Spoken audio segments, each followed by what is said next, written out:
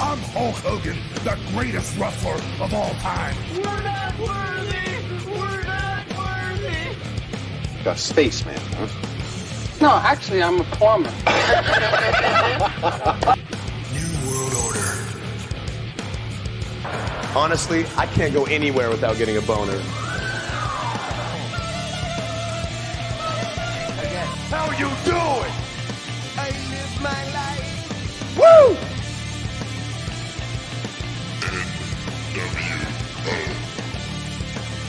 The Rock says, Sweet baby Jesus in the office!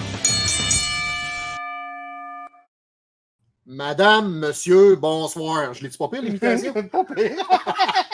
ah, j'ai essayé d'imiter Claude Charon. J'espère que ça va bien à la maison. Bienvenue au Wrestle Rock Podcast. Je suis votre animateur Nostradaben. Et pour m'assister dans l'émission, mon grand ami de toujours, Johnny D. Hey, comment ça va, mon Ben? Ça va bien. euh, ça a l'air, tu voulais qu'on parle de- des nouvelles de. Yes! Janvier, euh, sont ben oui, en fait, euh, on est à la fin janvier, fait qu'on s'est dit qu'on voulait faire un petit wrap-up de tout ce qu'il y a euh, eu comme nouvelles, là, autant dans le showbiz que dans la lutte professionnelle. Donc, toi, tu voulais ouvrir un petit peu le bal en lien au hockey. Il s'est passé Ouais, des il y a- choses. Et une affaire, par exemple, je voudrais souhaiter un bon 70e anniversaire à ton père. Euh, Yes, euh, aujourd'hui, 25 janvier, Ouais, euh, mon père, Régent Drapeau. Salut, mon papa! salut, Il a eu euh, 70 ans, Papa Chaud, qui a été beaucoup impliqué dans la lutte professionnelle pendant plusieurs années, a laissé sa trace un peu partout. Euh, puis, Une chance qu'il était là pour bien les affaires, moi, vous tout à fait, tout à fait, tout à fait. Euh, a aussi, euh, comment pourrais-je dire, Contribuer, c'est contribué. euh, on a des prises de bec des, euh, Ouais, avec des gens, des choses qui ont fait en sorte. Mais je pense que euh, ça a fait avancer un peu le bateau. Ça prenait ce genre de, de personnes-là parfois pour amener des projets à un autre niveau. Mettre de l'ordre aussi. oui, c'est ça, exactement. Puis, tu sais, c'est un, c'est un monsieur qui a, qui a connu le- la tour aussi. Ouais, connu bien les, euh, ben, c'est ben, dans ben, bien des territoires au Québec, disons. là. Exact, exact. Il m'a dit qu'il avait rencontré Bruno Sammartino il y a une couple d'années. tout ça, en tout cas, bref. Euh, tout ça pour dire qu'on voulait commencer euh, par euh, Patrick Roy. Vous, savez, vous avez sûrement vu euh, dans les médias que Patrick Roy est maintenant le coach en chef euh, de l'équipe des Highlanders de New York. Euh, Benoît, veux-tu nous en parler davantage? Ouais, puis ça, ça, euh, ça, a été, euh, ben, ça a été caché à quelque part parce qu'on s'en attendait vraiment pas. là. Non, tout à fait. Il y avait beaucoup de rumeurs, c'est les sénateurs d'Ottawa. Euh, on pensait que Patrick Roy avait accroché ses bottes. Il y avait eu plusieurs autres offres Oh, ouais. pour Québec et puis euh, pour autres, euh, autres équipes aussi de la Ligue nationale. Et puis, euh, Je sais pas s'il y en a qui se disent ça. tu sais, euh, vous allez peut-être me traiter de fou, mais admettons qu'on aurait les Islanders à Québec, on aurait déjà le coach. Admettons, là. Tout à fait. Ben, moi, que- quand j'ai. ass- C'est mon opinion et je la partage, cher Wrestle Rockstar, mais quand j'ai entendu parler, puis tu pourras peut-être euh, euh, bonifier euh, ce que je vais dire. Ben, Bonifié, ouais, ouais, vas-y. Euh, quand j'ai entendu la nouvelle de Patrick Roy qu'elle allait être coach en chef des Highlanders, je me suis tout de suite dit New York ont deux équipes, ils n'ont pas besoin d'avoir deux équipes. Les Highlanders s'en viennent à Québec d'ici deux à trois ans. Ils ont, le, ils ont le budget pour avoir deux équipes. C'est Je comme au baseball, au Oui, football. oui, je le euh, sais. Mais en même temps, je me dis que euh, on est capable d'avoir à Québec, dans la nouvelle amphithéâtre, euh, des foules de euh, entre 7 et, euh, et 11 000 spectateurs pour du hockey mineur. Fait que je me disais que pourquoi pas avec un. Puis ça, plein le centre Vidéotron, c'est 16-17 000, peut-être 18 là, à Exact. peu près. là. C'est ça. Un petit peu plus petit que le centre Bell, mais quand même. C'est euh, ça. C'est rentable. Yes. Puis tu sais, on sait que Patrick Roy euh, a accompli des belles choses avec les remparts de Québec et euh, on a remporté beaucoup de trophées. Là. Euh, Deux coupes Memorial. Oui, c'est ça. Et puis, en parlant de Coupe Memorial, on voudrait aussi basculer avec le Pro Wrestling Illustrated qui a sorti récemment euh, ses, euh, Les awards. Les awards. Mais juste avant, là, euh, sachez, ben, ceux qui ne le savent pas, Patrick Roy, il va coacher les Islanders ce soir à Montréal. Les Canadiens reçoivent les Islanders de New oui, York. c'est ça. Fait que ça va vraiment faire quelque chose. On va vendre là. des billets pas mal, C'est sûr, c'est sold out. Là. Une c'est vingtaine de mille de personnes. Ah oui, oui, oui. C'est 20-22 000 à peu. Imagine la, l'atmosphère qu'il va y avoir dans le centre belge. J'imagine que ça va être incroyable. Alors, chers auditeurs, si jamais vous êtes là, amusez-vous, prenez de la bière. Puis si vous n'êtes pas en état de conduire, appelez Nez Rouge ou appelez Le TZ. TZ, exact. Appeler un, un parent, un ami, un taxi comme. euh, C'est ça. Euh, part de ça, c'est quoi le. Ah, il- c'est- apparemment qu'il a cancellé le, tu sais, le- la pratique, là. Il n'y a pas de pratique à matin. Oui, euh, tu sais-tu pourquoi? Moi, je vais te le dire. Ouais, ben ils l'ont dit, là, c'est euh, ben, le phénomène Patrick Roy, là, comme on dit. Exactement. Patrick Roy a pris la décision que les gars jouaient pas aujourd'hui Ben, parce pratiquait qu'il pas. voulait que les, le- les médias mettent de l'avant l'équipe des Highlanders et non euh, le nom de Patrick Roy dans les médias. Puis je trouve que c'est tellement brillant. Là. Il pense pas juste à ton petit nombril. Là, Exactement, comparativement à certains qu'on connaît. Exactement. Donc, euh, revenons à nos moutons. On parlait que euh, le Pro Wrestling Illustrated, pour euh, l'année 2023, ont sorti leurs awards. Est-ce que tu voulais en discuter avec moi, mon ami? Ouais. Et pour commencer, le, le lutteur de l'année 2023, parce qu'on va parler de l'année de l'année 2023, c'est Seth Rollins. Yes, euh, c'est discutable selon moi. Toi, qu'est-ce que tu en penses? euh? Ben, le fait qu'il y ait soit Wall Heavyweight, euh, puis qu'il défende sa strap, puis qu'il lutte pas juste 11 fois par année comme Roman Reigns. Parce que là, il a lutté juste 11 fois par année, euh, 11 fois cette année, hein, Des fois, je me demande s'ils n'ont pas, ils ont pas donné le, le Wrestler of the Year parce que là, il est blessé. Puis il pourra probablement pas rien faire. Ah non, mais il était blessé 2024. avant, là. Non, je le sais, mais tu sais, bon.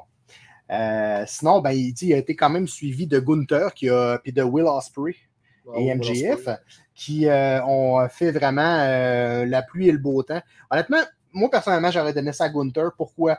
Gunther a défendu son titre intercontinental tellement de fois cette année, a toujours donné des matchs succulents. C'est un des meilleurs heels que euh, la WWE a eu depuis au moins euh, 7-8 ans. Euh, Il a battu le record d'Honky Tonk Man. Faut oublier pas ça. C'est- Yes! Et puis, euh, ben, on pourrait aussi parler, mon ami, de, du Woman of the Year. La femme de l'année. Yes! Et c'est pas nécessairement Fred Beauté. Et puis, euh, ben, elle l'a mérité. Elle a mérité Ah sa oui. place euh, au sein euh, de, de l'écurie Judgment Day qui est composée de. Ouais, t'as Dominic Mysterio, t'as Damien Priest, t'as Chose McDonough, Yes! t'as Finn Balor, Exactement. et la petite Madame Je Rhea Ripley. de Mamise himself, Rhea Ripley, qui a remporté le Woman of the Year 2023. On est vraiment, on est vraiment content, honnêtement, de la décision, qui a été suivie de, de Tony Storm et Bianca Belair, qui a gagné le Woman of the Year l'année dernière, euh, suivi de Athena. Euh, par la suite, euh, il y a eu le Tag Team of the Year. Est-ce que tu veux en parler un petit peu, mon Ben? FTR, Yes, FTR, qui sont une fois de plus. c'est la deuxième fois. Oui, La dernière fois, c'était. Ah, ben, ça fait deux fois d'affilée. Ben oui, 2022-2023. Oui, tout à fait. Puis euh, si je ne m'abuse, là, ils ont toujours été un peu. euh, en 2020 aussi, euh, ils ont fini deuxième. Les- Ils ont fini runner-up, comme on dit. C'est les Brainbusters des temps modernes, un peu. Hein. Tout à fait. Tu sais, ouais, Anderson, Tolly Blanchard, Ouais. il faisait les, blo- les Brainbusters. les Brainbusters ou bien le, le Four Horsemen. Ouais, aussi. C'est un peu le même En principe. fait, tu sais, quand il était les Revival, là, les, les petits côtes à la Brainbuster, là, Ouais. ça faisait euh. Mais imagine comment euh, Harwood et Wheeler euh, doivent être tellement contents d'avoir quitté la WWE parce que depuis qu'ils ont quitté la WWE, Ah, ça a plus le beau temps. C'est, euh, ils font, ils sèment la pluie pour le beau temps à la AEW, à la All Japan, au, à AAA aussi. Ils ont été chopés Ring of Honor et tout? Je pense que oui. Oh, oui. Oui, oui, oui. Et puis, bon, ben, on a parlé juste avant de, des factions qu'il y a eu à la, à- que, que dominé euh, l'année 2023. Ben, tu sais, on pense à Bloodline, The Elite, euh, Bullet Club, euh, The Judgment Day. Et puis, cette année, euh, Judgment Day, comme on a parlé ensemble, on fait la pluie et le beau, ben, et le beau c'est pas discutable. là. Ça Ah, non. été voté à 60%, ça, là. là. Ben non, ça a été voté à plus que 60%. Je suis- J'en suis certain. Ouais, parce qu'ils ils ravagent tout sur leur passage. euh. Ben, les gars euh, et les filles, euh, et la fille étaient glorifiés d'une ceinture euh, pratiquement par euh, chaque membre de Ben ouais. des équipes. Et par la suite, il y avait aussi Damien Priest qui Ça avait son, son Money in the Bank. D'ailleurs, est-ce que tu Il y a penses eu des occasions de cacher, comme tu dis. est-ce que tu penses que ça va être un fail? Quand il va cacher ou bien genre euh, Ou il va cacher sur Seth Rollins, vu que Seth Rollins est blessé, peut-être. Hypothèse. on pourrait- Hypothèse. D'ailleurs, on va parler du Royal Rumble dans quelques minutes. Donc, restez avec nous, chers euh, auditeurs. Le match of the year, mesdames et messieurs. Yes! On 2023. parlait euh, que Shawn Michaels avait, euh, durant plusieurs années, euh, remporté le, le, le match of the year, je crois que c'était à combien de reprises, tu m'avais dit? C'est 11 ou 12. Ben, C'est Ouais. marqué en haut. Si tu montes un peu, là, c'est c'est 12, me semble. Un petit peu. Il n'y a pas de problème. Euh, Shawn Michaels.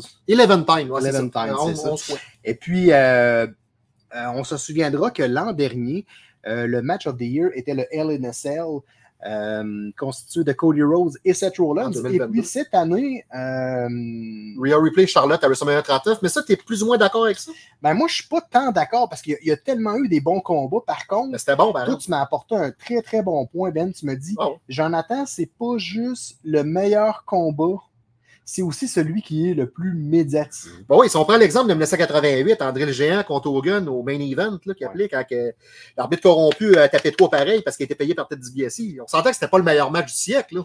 Non, non, c'est mais ça. ça a été médiatisé. hein, il, y avait, il y a eu combien de millions de téléspectateurs? Au moins 20 millions. Ah, c'est c'est fou. Puis en plus, c'était comme le début d'une grande ascension euh, au niveau de télévisuel. C'est là où, comme euh, on a eu euh, Raymond Rougeau euh, en entrevue Ouais. il y a quelques années, puis il nous avait dit sais, qu'à cette époque-là, c'était pas mal les premiers pay-per-view qui étaient diffusés à la télévision à la carte. Fait que, c'est sûr que Le Big le pas, hein. réseau commençait à s'élargir. C'est pas comme aujourd'hui. Maintenant, on a, les, on a les médias sociaux, on a Internet, on a euh, le câble, on a la radio. Mais avant, il y avait beaucoup moins de, euh, de canaux de, de- de- diffusion, comme on dit. si tu prends WrestleMania 1, WrestleMania 2, apparemment, c'était dans des salles de cinéma. là. C'était pas sur pay-per-view. là. Ben non, c'est ça. Mais WrestleMania 3, c'est vraiment le premier qui est en pay-per-view. Exact. Même le Big Event de 86 l'était pas, il me semble. Ça se peut.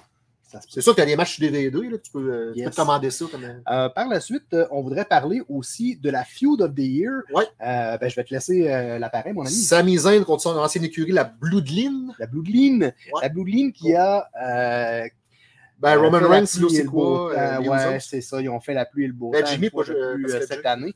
Et puis, c'était suivi de CM Punk contre la AEW. Ça, c'est plus une feud personnelle. C'est comme Matt Hardy contre Edge puis le temps en 2005. Feud plus personnel. Ouais, comme un triangle amoureux, comme on dit. Ouais. Sauf que là, dans le cas de CM Punk, c'est euh, c'est pas vraiment amoureux C'est parce pas que vraiment amoureux. Hein? c'est un triangle controversé. euh, ouais, c'est ça. C'est plus un triangle euh, amour-haine. Most popular qui est le plus adoré des- de la foule. Cody Ça Rhodes. a été remis à Cody Rose, bien entendu. Yes, suivi par LA Knight, MGF et notre Québécois, Sami Zayn. Ah oui, ça misait avec son fameux face turn, justement, quand il s'est reviré contre Roman Reigns. là. Exactement. The Most Hated Wrestler of the Year. Monsieur à ma Dominique. grande surprise, Dominique Mysterio qui a euh, raflé, euh, suivi de euh, Christian Cage de très près et de Roman Reigns. CM Punk est un petit peu aussi derrière. Mais CM Punk, c'est vraiment personnel, comme on dit. C'est Exact. Exact. Mais nos pronostics étaient quand même. Étaient quand même juste. Je ne sais pas si vous nous suivez un peu euh, sur les médias sociaux, chers amateurs. Si jamais vous ne le faites pas, on vous invite à visiter Facebook, Instagram, Twitter et surtout notre YouTube où vous pouvez nous voir en live pour nos podcasts. Et puis, euh, ben, on avait, je dirais que pas mal les résultats, ça, ça coordonnait un peu avec ce que euh, non seulement nous, on avait prédit, mais aussi, chers fans qui avaient voté, le public qui nous suivent avait voté. on fait Euh, des, aussi, tu sais, des pour, sondages sur Twitter. Oui, c'est ça. C'était la première année qu'on voulait faire l'exercice et puis on s'est rendu compte qu'on était quand même très près du Pro Wrestling Illustrated. Donc, euh, c'est vraiment nice. Par la suite, on a eu, il y a eu aussi le Comeback of the Year euh, qui a été remis à nul autre que Trinity. Trinity, ouais, la, la charmante épouse de Yes, Uso. T'en penses quoi de ça, toi, mon ami? Ouais, ben, elle a fait son retour. euh, elle avait été blessée, il me semble. puis Elle a fait son retour à, Ouais. à Impact maintenant rendu TNA. Exact. Est-ce que tu penses que si Sacha Banks aurait fait partie euh, du trio, est-ce que tu penses que ça aurait été le Comeback of the Year? Ouais, ben ça, ça aurait-tu été en tant que Sacha Banks ou en tant, de, en tant que Mercedes Mercedes, Mooney, je Ah, sais, je sais. pas. hein.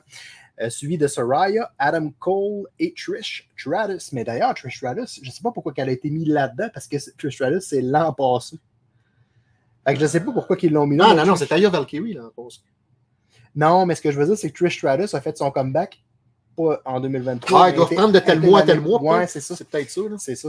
L'année fiscale, Euh, yes. euh, ensuite, il y a eu le Most Improved Wrestler of the Year. le plus amélioré, bien sûr. Yes, euh, qui s'en va à LA Knight. Yes. Mais LA Knight, sa lutte, je trouve, comme je t'ai dit tantôt, elle n'a pas vraiment changé, mais son statut de top face, parce qu'on s'entend que c'est un top face. Ouais, ouais. Ah, il est tellement populaire, puis le monde. Personnellement, je ne l'aime pas. Je, Mais c'est un bon face. je, me, je, me- je sais que euh, je sais que ça va devenir une star. Je sais qu'il va, il là. va fleurir. là. C'est une fleur là, en ce moment. Tu sais, il avait gagné un million dollar belt, là, c'était bon, ça. Yes.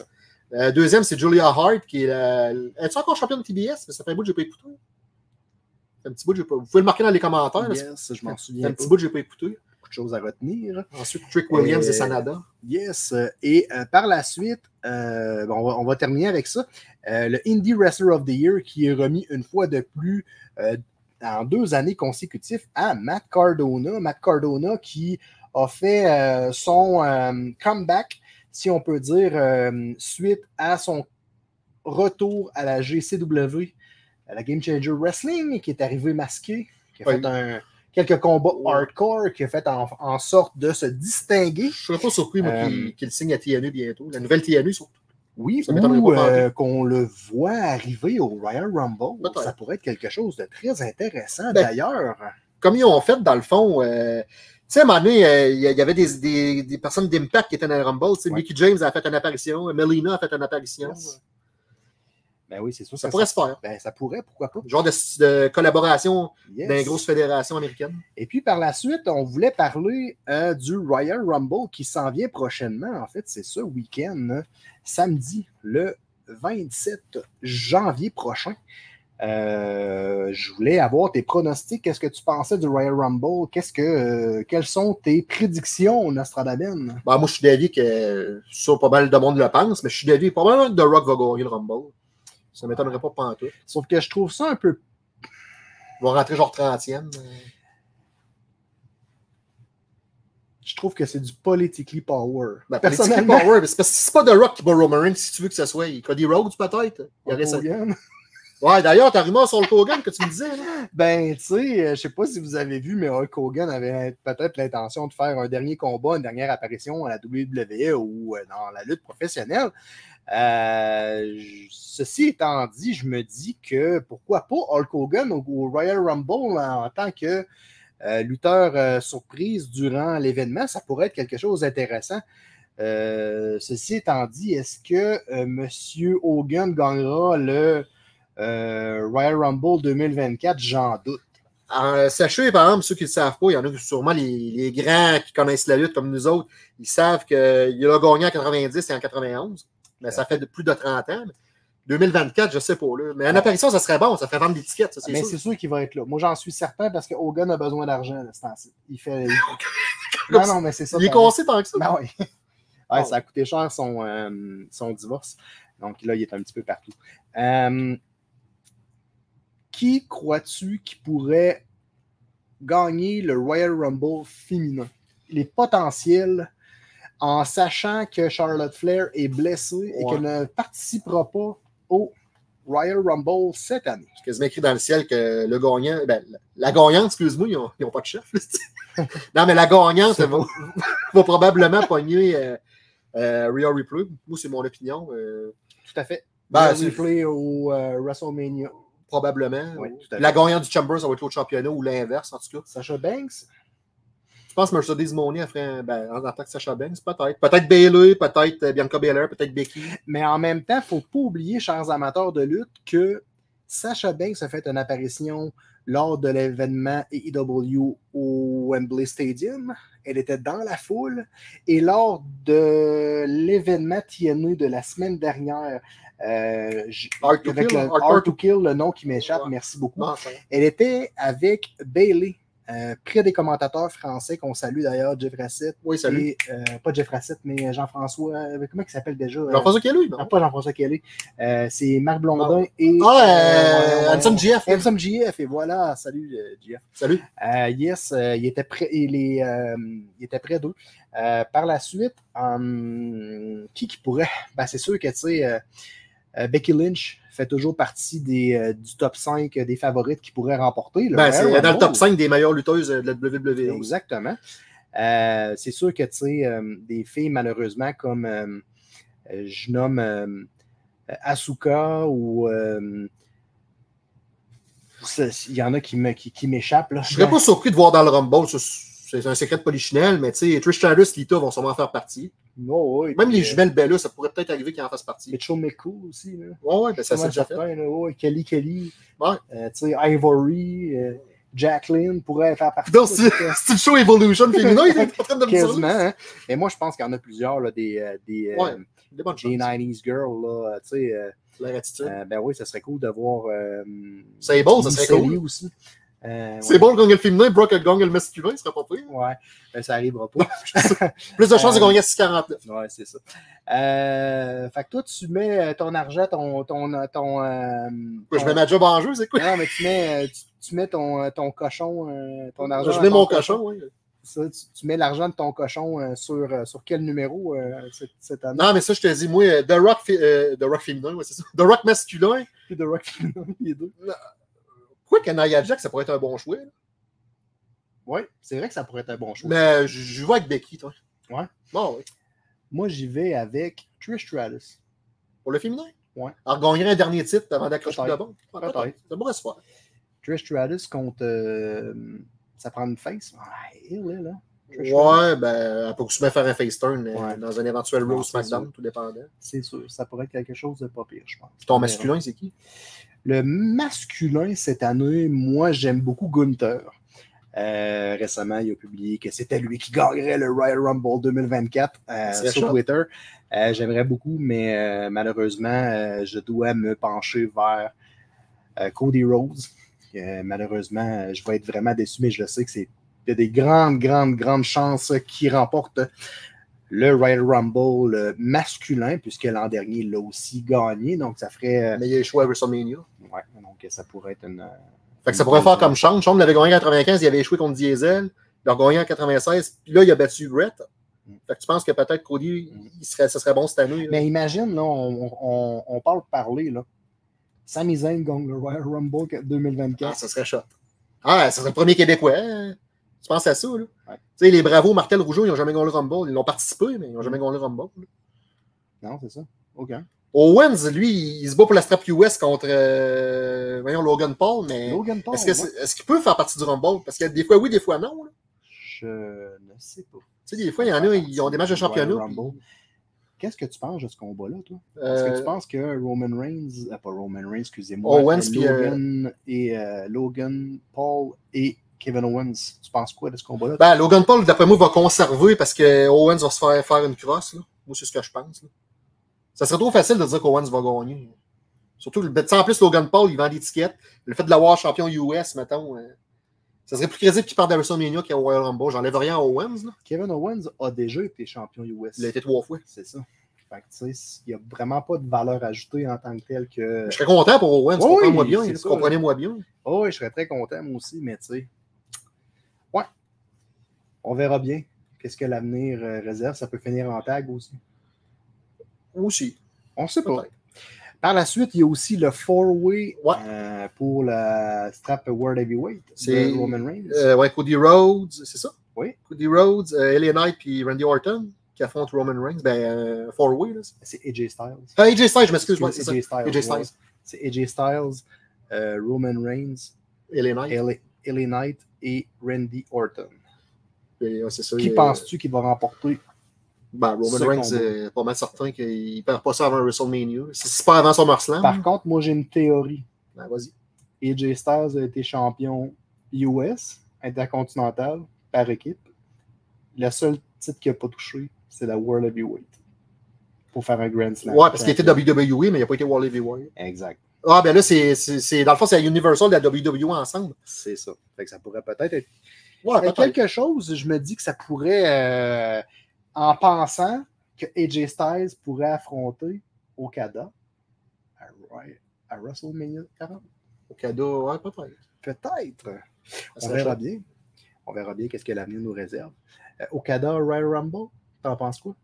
Ça, c'est des rumeurs ou c'est confirmé, là? Ben là, Okada a, a terminé son contrat avec la New Japan. Donc, euh, ça pourrait peut-être euh, être Ouais, quelque ça, chose ça euh, rajouterait ouais, piquant. ben, une vedette japonaise Stiffy dans, dans un Rumble. C'est, toujours bon. Tu sais, les vieux Rumble qu'on se tapait, quand il y avait un japonais ou deux, c'était cool. Nakamura qui ramasse le titre euh, par équipe, euh, qui ramasse le titre, ouais, qui ramasse le combat Le title shot à WrestleMania. Le title shot à WrestleMania qui avance le Rumble. Ouais. Pas sûr, hein? Non, on penserait pas. Le gagnant en 2018, Nakamura, mais. Euh, Cette année, ça va être plus dur. C'est sûr. C'est de valeur, Kim, qui.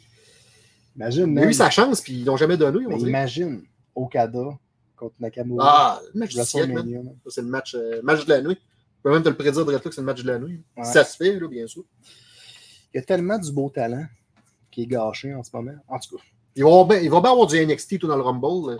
Ce soit dans le masculin, dans le féminin, c'est sûr qu'il va. D'ailleurs, le NXT, et euh, si on parle un peu des ratings, c'est très très proche de la AEW en ce moment. Ben, ils se les codes d'écoute. oui, c'est ça. Euh, je voudrais faire un petit thumbs up euh, sur le fait que la AEW sera présent, présente au Centre Vidéotron de Québec le 27 mars prochain. Euh, quelques lutteurs d'annoncer. Adam Copeland, Ah, ben ça, il fallait ça Christian Cage. Christian Cage, Chris Jericho, Les lutteurs canadiens. voyons, euh, Will Ospreay devrait être présent, Ah, ça serait cool, ça. Mark Briscoe et plusieurs autres. Donc, euh, La chose, là, euh, Ticketmaster.com. tu sais, là, euh, les anciens 2.0, là, ils vont bien être là. Tout à fait. Pas- pas Probablement. probablement.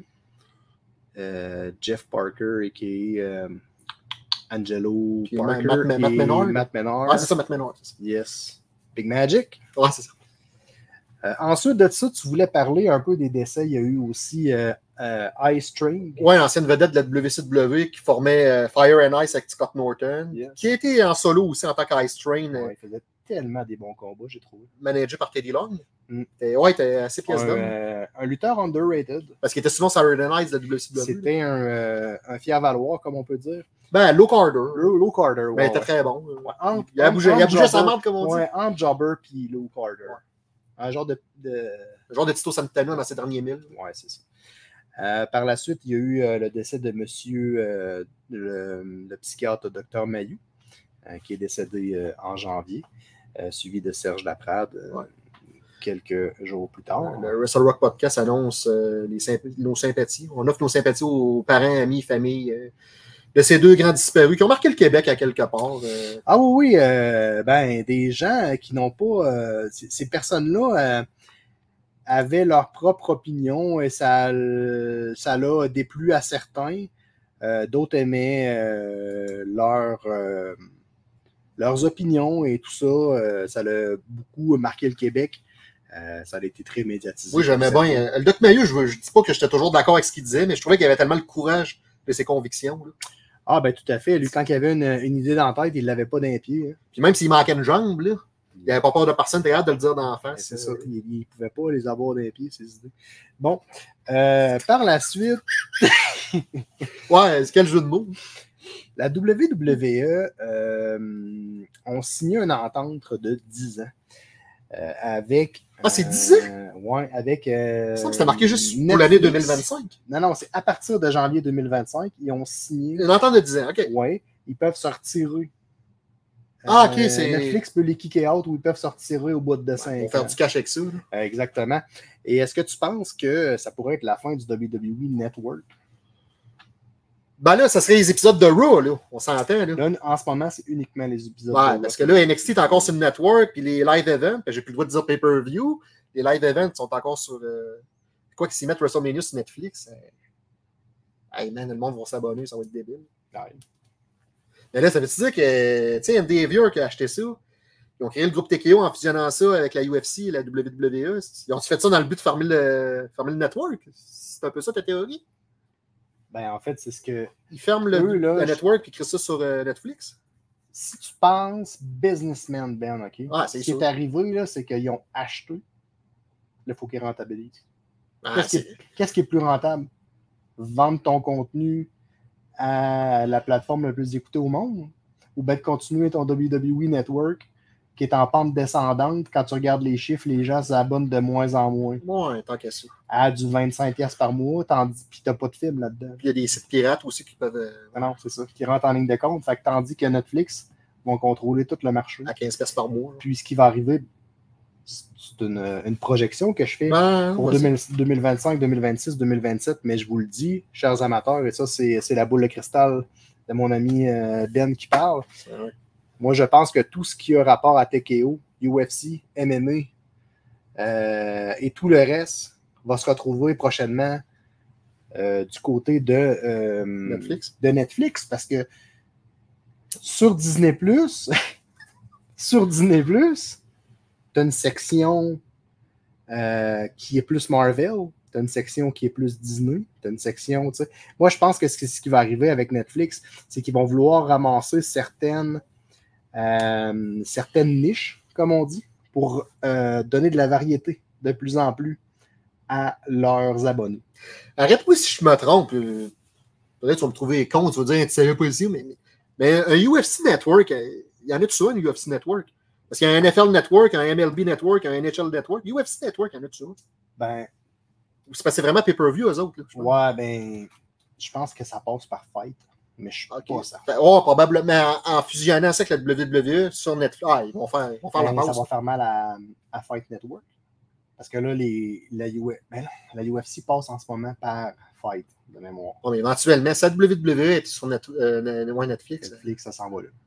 Tout le monde s'en va là. C'est ça que je me dis. Ouais, Ouais, ouais, peut-être pas, ouais, peut-être pas pour 2025, la UFC, peut-être Ben, 2027, Fait que là, tu sais, 2028. attends-toi là, que les prochains pay-per-view, quand ils vont venir ici à Québec en 2025 ou à Montréal en 2025, ça va être placardé Netflix partout. là. C'est l'avenir. Fait que, tu sais, c'est. euh, ben, en même temps, c'est comme un partenariat de, tu sais, sais, c'est sûr qu'on va aller voir euh, Netflix, on va voir ça partout, tout le monde va vouloir s'abonner sur Netflix. Ben, attendez-vous, euh, chers spectateurs, que vous allez plus payer votre Netflix euh, 14-15$ piastres par mois, vous allez le payer 20 puis 30 Ça, c'est certain. C'est certain parce que j'imagine qu'ils vont ramasser aussi, tout ce qui a rapport au sport. À moins que les gros comme Amazon Prime décident de finalement euh, acheter toutes ces grosses patentes-là, puis. euh, euh, mettre ça exclusif sur leur plateforme, ça se peut très bien. Par contre, Netflix, Netflix comparativement à Prime, c'est que Prime offre du contenu qui est aussi payant. fait que t'es membre Prime, mais t'as pas accès à 100% du contenu. Faut que tu payes euh, des, des, des, Ouais, des montants, extras. C'est ça. Fait que c'est un peu, euh, c'est un peu tannant pour ça. Comme sur tout.tv avec Radio-Canada, si tu veux voir les, les émissions des téléromans de la semaine d'après, il faut que tu payes un extra. C'est ça. C'est un peu le même genre. De... Exactement.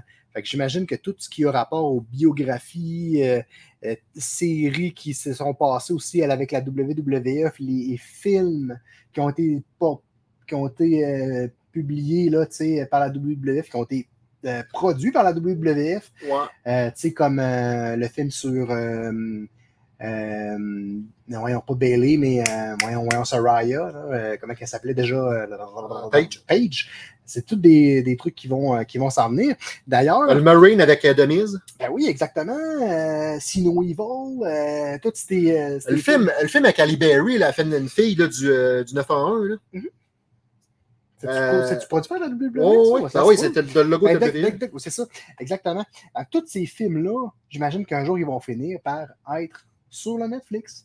Dans une éventualité. On parle de films, mon Ben. On a écouté ensemble récemment euh, The Iron Claw, euh, la famille Von Erich. Et puis récemment, on a su euh, par Fightful que. euh, Je- on a j'avais vu juste encore une fois. Vu, vu juste mon ami euh, Natalia a euh, partagé quelques images, quelques trucs. Euh, on est près d'elle. D'ailleurs, d'ailleurs, on, on la salue. Ben, nous autres, on est du Québec et de l'Alberta. C'est Ouais, une couple de, de jours de char. là, mais- ils sont en train de travailler en ce moment sur un film pour la famille Hart. Ouais. Donc, ça pourrait être vraiment très, très cool. Puis, d'ailleurs, Ben, On parlait des frères Calkin dans son article. exact. Et puis, euh, je comprends pas pourquoi que la famille Hart n'est pas sortie avant Von Erich. Encore une fois, c'est une histoire de Ah ouais, mais le US, il faut qu'il soit mis de l'avant avant le, le Canada.